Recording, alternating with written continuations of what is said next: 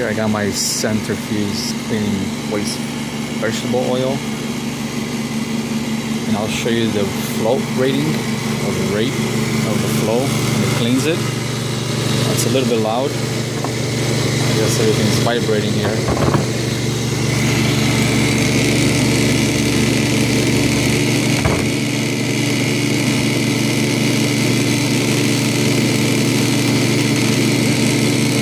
this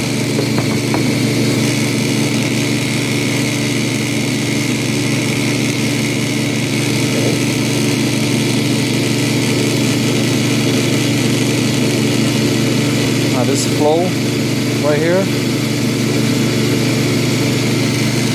Get a little closer.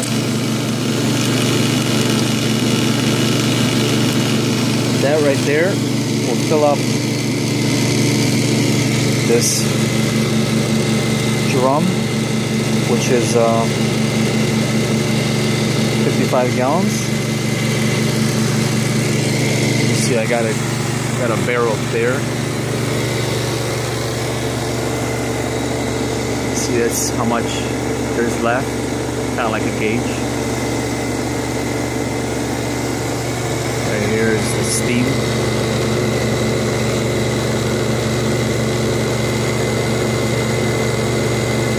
That's what's coming out of the vegetable oil. No idea what that is. There's the pipe right here. There's the pipe. Let's stay here. Inside the centrifuge, and this my clean waste vegetable oil.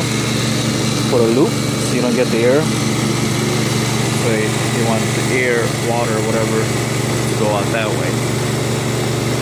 And yeah. Hard to see, but kind of if I put the light, you can see the steam or water, whatever that is. I'm not sure, but it's way up there.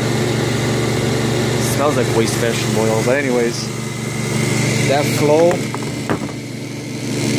that you see right here. Okay. That takes approximately 8 to 10 hours to fill up this drum, 55 gallons. That's roughly what a my cargo van, which is a 7.3 IDI. It takes roughly 6 to 8 hours depending on the load and what I'm carrying inside of it. This is how much I think burns. It's 65 to 70 miles an hour. What rate you're seeing right here.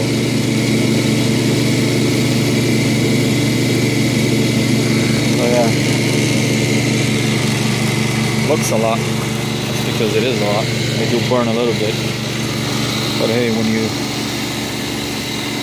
have customers that give you the oil for free, just go pick it up. It's still not bad. Also, you can see right here, right there, that is a Racor, a Racor. Actually, I don't want to give a name because that I could be wrong. But anyways, inside of it, it's a two micron filter before it goes into the tank. Right there, I got a pump, 12 volt pump, got a battery right there. Uh, that pump does do the job, but since this is a two micron, it's hard to push the oil through. So right here, I'm gonna add another pump. Actually, a 12, uh, not a 12 volt, 110 volts. And right here, I got, I can see the oil as it goes through. Then I got a silicone hose. And this is my, yeah. People probably know what this is. Same like you see at the gas station. With a meter. That doesn't work because the flow is so little bit and thick. That's why I gotta add a second pump. But yeah, this hose is long enough that I just uh, temporarily I got a tank in here. There's my tank right there. 40 gallons. And yeah, I just use the hose to fill her up. Nothing to it. Very simple. Gravity, gra gra gravity fed. And here. This goes right here down this pipe. I've got a shut off valve if I need to shut it off. Goes into the heat exchanger. Heat it up to 260 or is it 210, 240? It's under 300 uh, Fahrenheit. Any loops down in here. Right here I got my control valves. How much I want the flow in there, which I don't want too much. And it cleans, believe it or not, this thing cleans, I would say under one micron. Because that filter right there never gets clogged, no matter how much oil I put through it. Never gets clogged, I never see water at the bottom. You can see right here I got a water separator. And there's just no water, nothing. Real clean. What I do is, uh, there's my waste vegetable oil tank. I let it settle. You see right there at the bottom, the lard.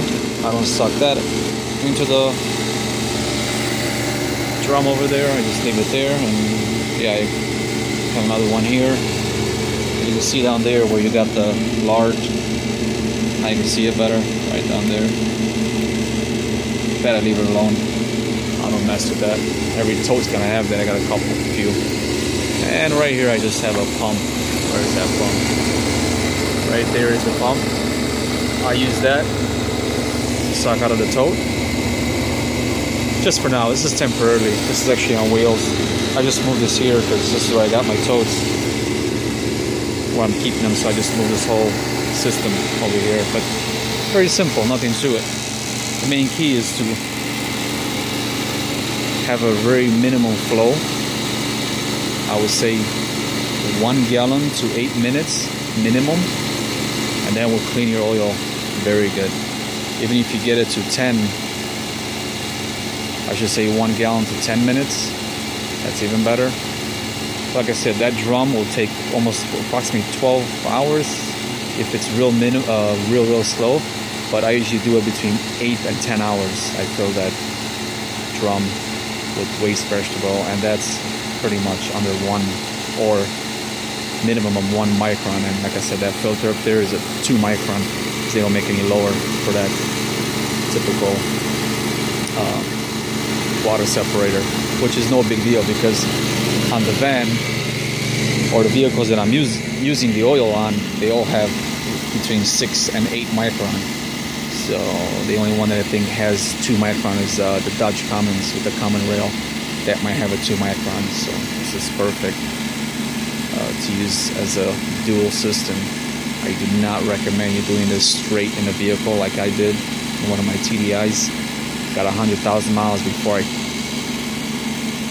pretty much all the rings were frozen onto the piston. Uh, you'll see that in one of my other videos when I get a chance to post. But yeah, there you go. Easy setup, nothing to it. Everything that I use is leftover besides the centrifuge and even the filter is used. So that centrifuge is not that cheap. That was like eighteen hundred dollars, I believe. Or I'm sorry, 1,500.